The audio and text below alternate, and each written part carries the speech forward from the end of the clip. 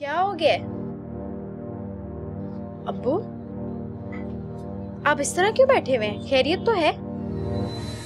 कहाँ से आ रही हो तुम? कॉलेज से आ रही हूँ। आप इस तरह से क्यों पूछ रहे हैं अब्बू?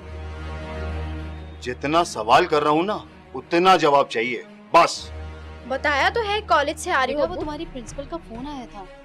वो कह रही थी देखो बात सुनो। मेरे बीच में नहीं बोलना। मैं बात कर रहा हूँ ना? अच्छा। तो तुम कॉलेज से आ रही हो।